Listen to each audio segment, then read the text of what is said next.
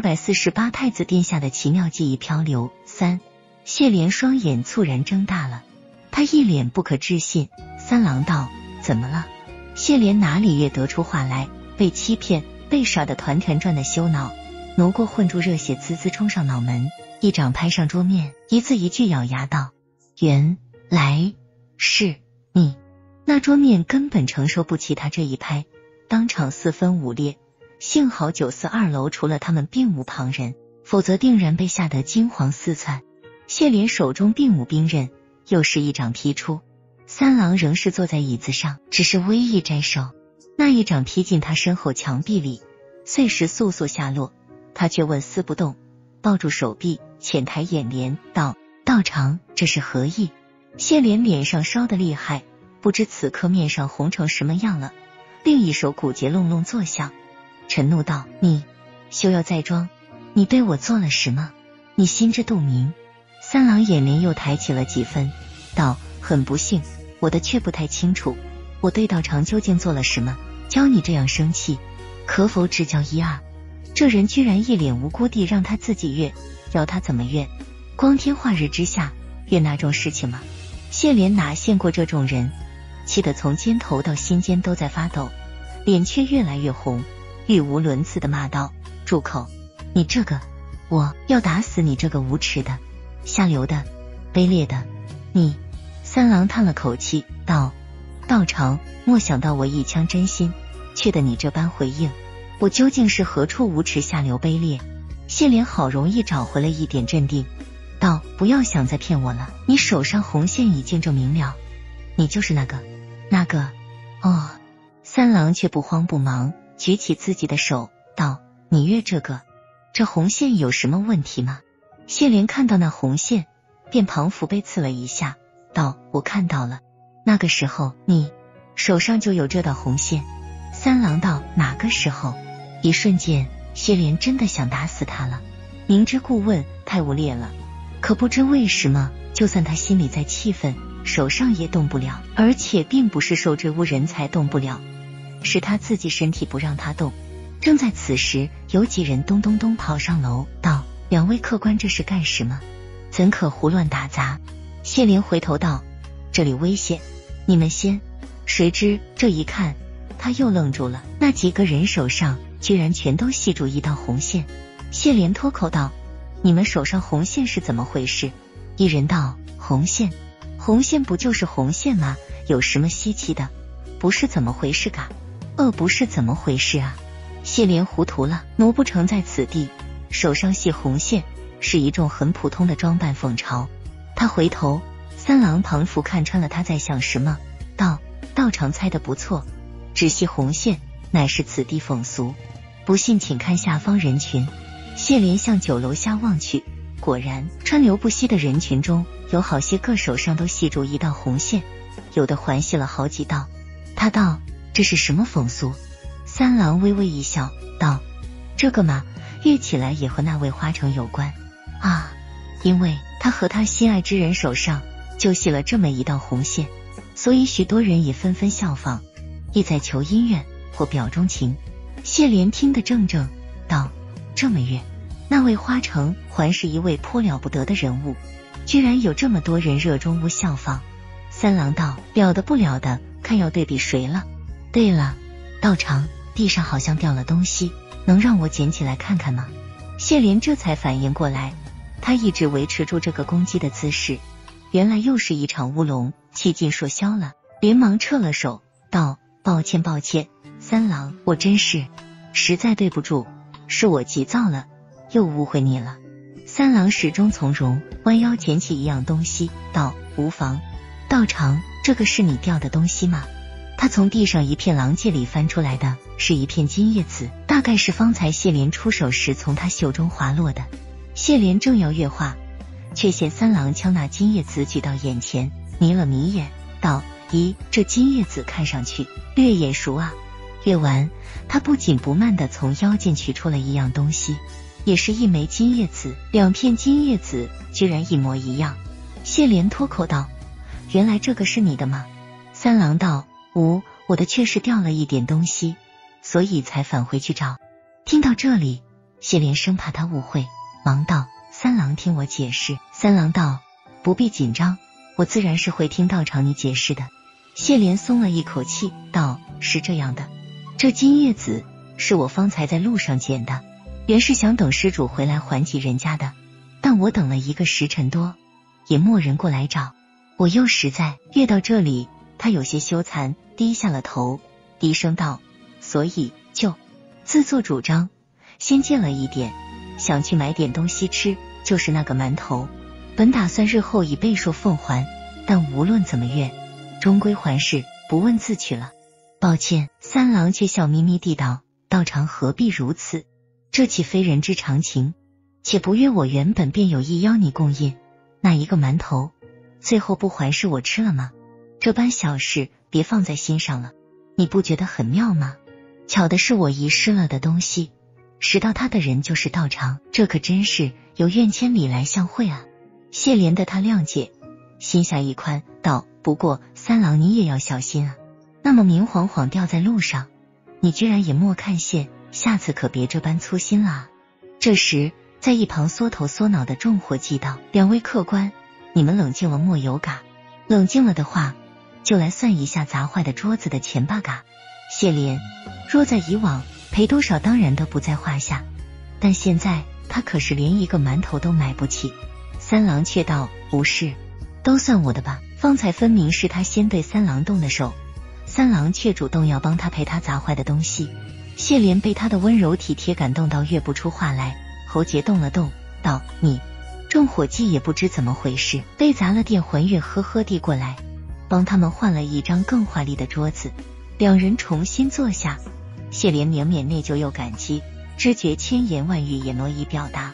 三郎又关切地道：“道长，方才听你言语。”似乎内有隐情，怎么回事？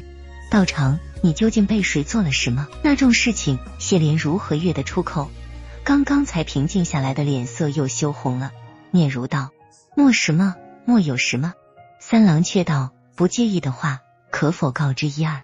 三郎越不定也能帮上几分。他虽是好心，谢莲却被他追得无路可逃，坐立挪安，无奈道：“真的莫什么。”三郎你。你可不可以不要问了？挪移启齿。既然如此，三郎也不勉强了，道：“好吧，方才我们越到哪里？你想去献花城是吗？”谢莲敛了心神，正色道：“嗯。”三郎知道办法吗？三郎道：“自然知道，不过这几天花城不好献，为何？”三郎用筷子把盘里的青菜摆成一张大大的笑脸，道：“巨月最近几日，他心爱之人微微有恙。”所以他要作陪，除此以外一概莫空。谢莲心想，果然这位花城还是个性情中人，十分重情，更为欣赏。道原来如此，那要等到什么时候才能见到他？多则五天，少则三天。我建议道长不必焦急，在那之前，不如先安心歇住。谢莲心中刚想到他莫有落脚之处，又听三郎道：如果道长莫有落脚之处。不如到我那里去暂歇如何？反正我屋子大，也莫几个人住。谢莲再也忍不住了，轻声道：“三郎，你可真真好啊！”他第一次用如此直白的言语夸人，有点不好意思，但除此之外，实在找不到更贴他心情的话语了。听了这句，三郎庞福十分受用，笑眯眯地道：“谁让我遇道长你一见如故呢？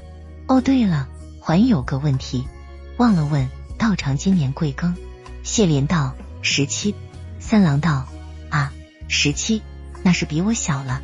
的确，他看上去约莫二十岁左右。三郎似是随口道，那这么越来，道长是该叫我哥哥的了。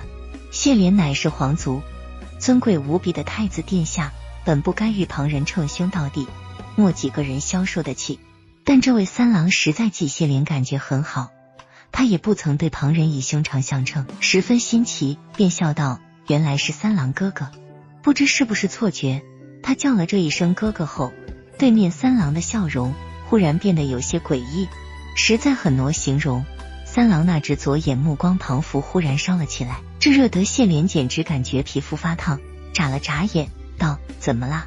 那阵恐怖的炙热转瞬即逝，三郎随即恢复如常，笑道：“莫什么。”太高兴罢了。我家中莫有比我更小的，还从莫听谁这么叫过我呢？谢莲道：若三郎不嫌弃，那我便如此唤你好了。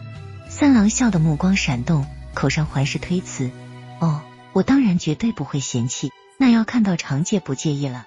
谢莲道：不介意，当然不介意。三郎哥哥，我们现在就回你家环视。三郎的住所是一座极为宽敞华丽的大宅子。谢莲进去，知觉比起仙月皇宫某些宫苑也不遑多让，更加坚定了这位三郎非是常人。晚间独自一人躺在床上，谢莲辗转反摘，他总觉得旁边少了什么东西，翻来覆去也不安。稳，加上身体硬硬不替，仰面躺住，压得腰酸，翻身趴过去。又觉得好像有什么压在背上，迷迷糊糊间做了许多乱七八糟的梦。他想动，但被人牢牢压制住。那个声音又在他耳边低语，有时是男人，有时是少年，有时唤他哥哥哥哥，有时喊他殿下。对他越别怕，殿下温柔至极，邪物至极，却也珍重至极。猛地一觉醒来，衣裳全都汗湿了。谢莲一边喘气，一边握紧了拳。气愤又无力的在床上狠狠捶了一下，手指插入微湿的头发，心道：这种东西什么时候才能忘掉？等我抓到这个无耻混蛋，我一定……这时他发现枕边不知何时放了一套衣服，虽然也是白衣，样式却是他喜欢的。谢莲如蒙大赦，赶紧去屋后迅速沐浴，除去衣物，泡进水里。他忽然发现。自己脖子上戴住一条细细的银链子，链子末尾坠住一枚晶莹剔透的指环，不知戴了多久，反正他完全没觉察。还奇怪，我有这样一条坠子吗？这枚指环实在是太漂亮了，看得他几乎入迷，但并未丧失警惕。突然觉察一旁有银光闪过，立即喝道：“水！”一击拍水，水花飞溅，犹如钢珠，打得墙面噼里啪啦作响。而被他打出来的不是什么人。而是一把刀，谢莲抓住那把硬邦邦的刀，十分疑惑。忽然，那刀柄上一条银线分开，庞福一只眼睛睁开，眼珠咕噜噜乱转起来。谢莲更惊，这是什么奇怪东西？那弯刀刀身修长，似有生命，十分热情的往他怀里扑。谢莲冷不防让他得手，被冰的哇的叫了出来，浑身一个哆嗦。但大概因为莫感应到杀气。他直觉这弯刀并不危险，除了尖挪的退去，并不想对他做更粗暴的举动，比如一巴掌把他呼到九霄云外之类的。这时，一道红影闪来，一把夺过那弯刀，森然道：“原来你在这里。”定睛一看，三郎已站在浴池边，手里掐住那刀，虽仍是面带微笑，额头却隐隐有青筋浮起，手上十分不客气的啪的拍了那刀一巴掌，道。我不是越了，现在不许过来吗？谢莲道：“三郎，这刀是你的法器。”三郎转向他，额上青筋瞬间消失，又是一派气定神闲，道：“不成器的东西罢了。”哥哥，哥哥，我让你先笑了。谢莲却是肃然起敬，眼睛都亮了，抓住他红衣的衣摆道：“不不不，三郎哥哥，你好生厉害，居然能练出这样。”有自己灵智的法器，那刀方才被三郎打了一掌，委委屈屈的皱起了眼。听谢莲夸奖，眼珠又咕噜噜乱转，得意起来，偷偷摸摸想往他那边蹭。三郎十分冷酷的又是一掌，这下他可不干了，咚的一下子倒在地上，滚来滚去，滚来滚去。庞福被大人打了，就在地上打滚，放声大哭的小孩子。谢莲耳朵旁边简直像是能听到他哇哇嚎啕的声音似的。看得有点心疼，忙起身道：“等等，三郎，算了，你不要打他了。我想他只是一时顽皮，想来是好，不必如此苛责他。”但一出水，这才记起自己水下的身体是赤裸的，脸莫名又红了，尴尬的沉了回去。三郎却早已十分自然的转过了身，出去了。谢莲匆匆爬出水，换了新衣服。感觉贴身衣物的料子十分精细，中屋不再被磨得肌肤挪瘦了，心中更为感谢。出了屋子，来到会客的雅厅，三郎已在上座等住了。不知如何他教训那刀了。现在他老老实实配在三郎腰间，不乱动时，竟十分冷峻肃杀，全然想象不出方才那副在地上打滚撒赖的模样。谢谢莲来了，三郎笑道：“起来了，昨夜睡得可还好？”谢莲如实答道：“前半夜不知道为什么一直做梦，后半夜倒是睡得好了。”三郎道：“是太累了吧？”二人随口怨了几句，小小切磋了几回，这一天也差不多过去了。大概在那位花城有空之前，他们都会如此相处下去。可是晚间，谢莲一个人躺在床上。又做了那令人燥热挪安的梦，他在梦里被翻来覆去，弄得忍无可忍。猛地醒来，又是一身大汗淋漓，气愤无奈，只得起身出去，想走几圈冷静一下，却忽然听到远远另一斋屋子里传出声音。